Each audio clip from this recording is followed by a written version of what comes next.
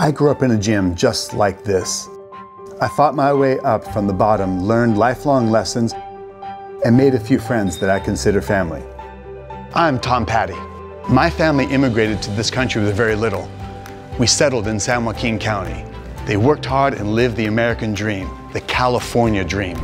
I graduated from Stagg High, was Golden Glove champ, went to Delta College, and later built a successful business. I've been friends with some controversial people, and we've all been in situations that we could have handled differently. Good work. But I do believe in redemption and the opportunity for all of us to do better. Through it all, I continue to work for local families, our schools and community colleges, farmers, workers, and local jobs, and for real solutions to the homeless and humanitarian crisis we see every day. I've never pulled punches, and I'm not going to start now. The truth is, those representing us in Washington, D.C.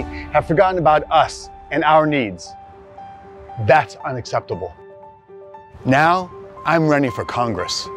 I believe we should empower all of our people with an opportunity and a chance of the American dream, the same chance my family had. That's worth fighting for. And that's what I'm going to do. Now let's get after it. I'm Tom Patti. I want to be your voice in Congress, and I approve this message.